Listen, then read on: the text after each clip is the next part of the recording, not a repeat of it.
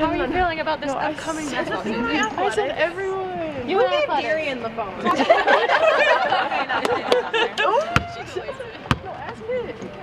Ask it. Feel about this upcoming basketball? It's gonna be